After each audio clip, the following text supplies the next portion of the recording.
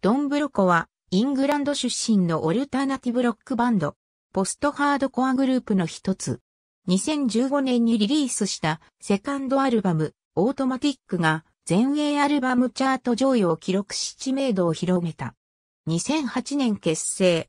メンバーのロブ、サイモン、マットと元ベースのルークは同じ高校、大学の同級生である。もともとドンロコというバンド名を考えていたが、メンバーのサイモンが腕を骨折したため、からかってドンブロコと呼んでいたことがバンド名の由来。2011年2月に EP、ビッグファットスマイルをリリース。2012年、方向性の違いから元ベースのルークが脱退。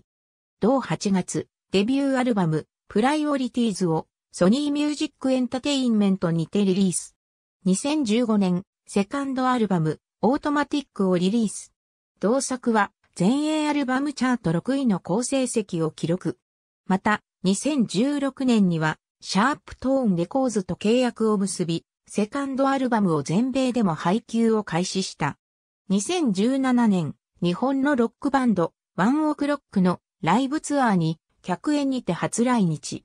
及び、同12月には、マン・ウィズ・ア・ミッションの公演にも客演。2018年2月、サードアルバム、テクノロジーを全世界リリース。公式ウェブサイト、ありがとうございます。